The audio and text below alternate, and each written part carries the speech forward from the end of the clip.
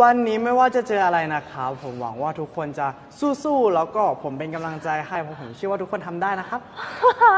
我本来